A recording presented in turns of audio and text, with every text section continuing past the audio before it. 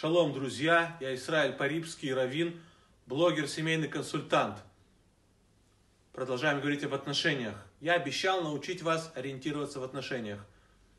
Для того, чтобы разобраться в чем-то, всегда ищите правила. Ведь правил не так много, а частности бесконечны. Соответственно, нет смысла разбираться в каждом частном случае. Зная правила, вы уже специалист. Одна проблемка. В жизни правила никогда не работают, потому что всегда жизнь сложнее и много исключений. Все правила, которые описаны в учебнике физики, они прекрасно работают в лабораторных условиях. Но в жизни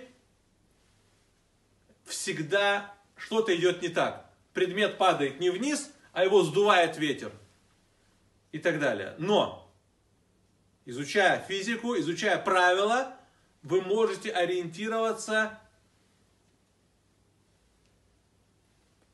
и примерно понимать, почему идет не так. Примерно понимать исключения.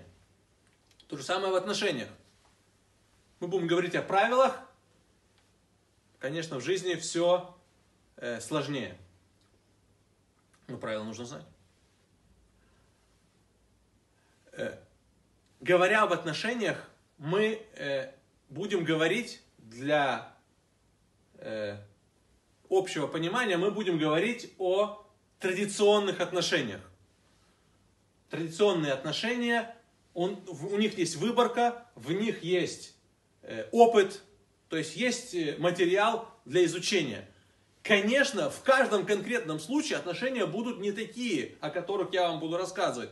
Потому что все э, частности, все отдельные случаи, они будут немножко отличаться. Потому что ваши отношения, они не идеальные. И ничьи отношения мои, они не будут идеальны. Поэтому мы говорим о неких э, теоретических идеальных отношениях.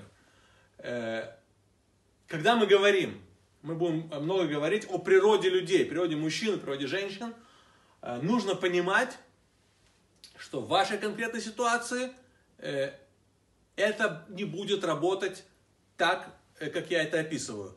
Вот я для, для этого нарисовал даже схему. Это уже не первый дубль, поэтому тут уже все нарисовано заранее.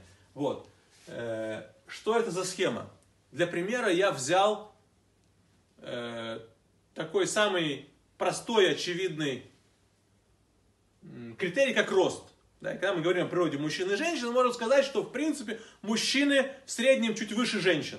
И вот я нарисовал э, всех мужчин мира и всех женщин мира. И мы видим, что женщины, они чуть ниже мужчин, действительно. То есть есть низкий мужчина вот здесь, есть высокий мужчина вот здесь, но в среднем мужчины чуть выше и женщины чуть ниже. Но это все вот в этих отрезках видно. А общая масса, большинство мужчин и женщин находится вот здесь. Соответственно, когда мы говорим, что большинство мужчин, что мужчины, они э, в среднем выше женщин, это не, однозначно, не, не означает, что вот этот вот мужчина будет выше вот этой женщины.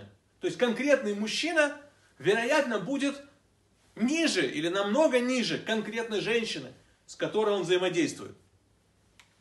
Считается, что э, женщины хуже ориентируются на местности, мужчины лучше ориентируются на местности. Это если мы уже говорим о каких-то э, качествах мышления и так далее. Вот. Но моя жена лучше ориентируется на местности, чем я. То есть, видите, да, то есть, э, то есть то же самое. Вот это, условно, ориентация на местности мужская, это женская, но вот это моя жена вот здесь, а я здесь. То есть, когда вы слушаете какой-то урок, лекцию специалиста, и он вам говорит, что женщины, они вот такие. На самом деле, в вашей конкретной ситуации, не факт, что это будет работать. То есть с вашей конкретной женщиной, не факт, что это так. То есть, когда мы говорим, что женщины, они женственные, не знаю, да? Нет. То есть, да, в общем, да. Но конкретная ваша женщина, может, она будет другой. Тем не менее, мы обязаны изучать правила, и это нам поможет очень в жизни и в отношениях. Это важнее, чем изучать физику. Следите за нашими публикациями, и наслаждайся отношениями.